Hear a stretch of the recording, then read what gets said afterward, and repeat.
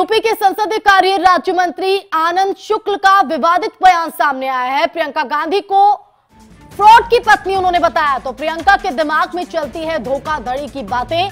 ये बड़ा बयान यहाँ पर दिया गया। प्रियंका के पति ने गरीबों की ज़मीन पर कब्जा किया है तो प्रियंका के दिमाग में चलती है धोखाधड़ी की बातें। प्रियंका के पति ने गरीबों की ज़मीन पर कब्जा किया है तो ये बड़ी खबर आपको बता रहे हैं। यूपी के संसदीय कार्य राज्य मंत्री आनंद शुक्ल की तरफ़ से ये बड़ा बयान प्रियंका गांधी को लेकर।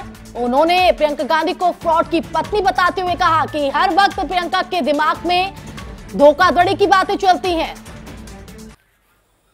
असल में प्रियंका वाड्रा एक फ्रॉड की पत्नी है और उनके दिमाग में फ्रॉड वाली ही बातें रहती हैं। एक तपस्वी, तेजस्वी योगी का राज यहाँ चल रहा है। सारी व्यवस्थाएँ, भ्रष्टाचार मुक्त चल रही हैं। प्रियंका गांधी हास्यास्पद हैं।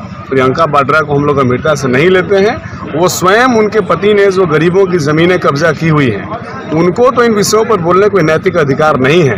वो पहले अपने पति और उनके भाई और माँ, जो नेशनल हेराल्ड केस में जमानत पर बाहर हैं, पहले उनके बारे में बोले, फिर दूसरे के बारे में बोले।